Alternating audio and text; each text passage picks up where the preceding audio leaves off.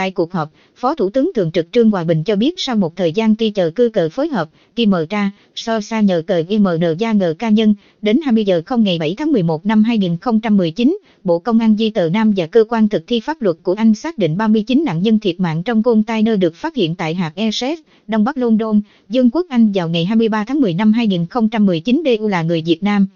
các nạn nhân co hô ngờ tru tai Hải Phòng, Hải Dương, Nghệ An, Hà Tĩnh, Quảng Bình, Thừa Thiên Huế. Phó Thủ tướng Thường trực nhấn mạnh cuộc họp này để chỉ đạo các bộ, ngành, địa phương và các cơ quan liên quan thực hiện mọi biện pháp phù hợp để bảo hộ công dân theo đúng quy định của pháp luật Việt Nam, Anh và luật pháp quốc tế. Trước đó, theo chỉ đạo của Thủ tướng, đoàn công tác liên ngành do Thứ trưởng Bộ Ngoại giao Tô Anh Dũng dẫn đầu đã sang Anh từ ngày 3 tháng 11 để phối hợp với Bộ Ngoại giao Anh Quốc và các cơ quan hữu quan của Anh đẩy nhanh tiến trình xác minh nhân thân và phối hợp giải quyết vấn đề tiếp theo. Vào lúc 20 giờ 35 ngày 7 tháng 11, phía Anh và Việt Nam đã đồng thời xác nhận 39 nạn nhân trong vụ việc là công dân Việt Nam.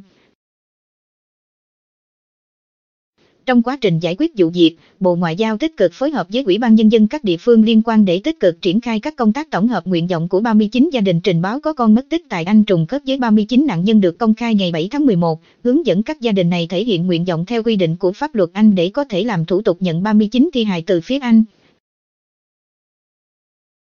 Ngay trong tối 7 tháng 11, khi nắm được thông tin của phía Anh và các cơ quan Việt Nam xác nhận 39 nạn nhân là công dân Việt Nam, Thủ tướng Chính phủ Nguyễn Xuân Phúc đã gửi thư chia buồn đến gia đình các nạn nhân.